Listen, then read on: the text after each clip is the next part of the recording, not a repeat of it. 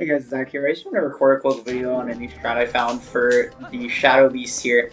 I saw it in the tasks, and I guess we haven't really started doing it because no one had a consistent way of doing this. Um, but anyways, you want to drop your bomb in like, so basically you want to drop your bomb anywhere kind of like between, just around the middle-ish of this square.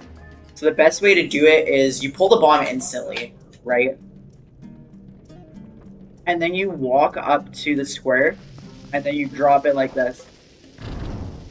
And what that'll do, I'll show you what it does. It'll basically make it so this shadow beast gets exploded.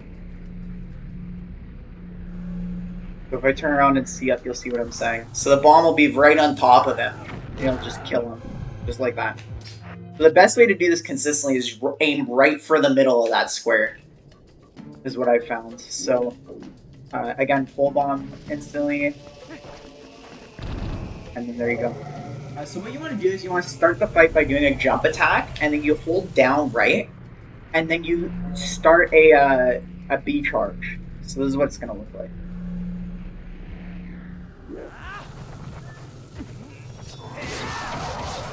Just like that. So let me just do it again, just so you guys can see. So you jump attack, hold down right when you see Link, you start a B charge. And depending on if the first guy hasn't charged at you yet, or he's charged at you kind of late, you keep holding down right a little bit to get a good angle to hit him, or a good position to hit him.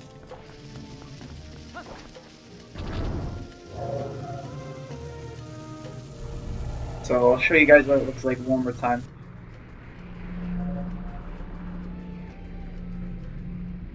So pull your sword jump attack.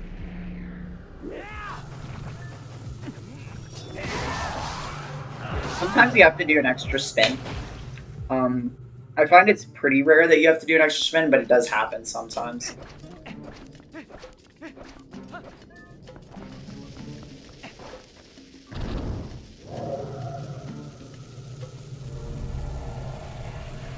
Um, you can also, um, you don't have to pull the sword during the fight, you can pull it before the fight too. It doesn't really matter because you're waiting for the bomb timer anyways most of the time.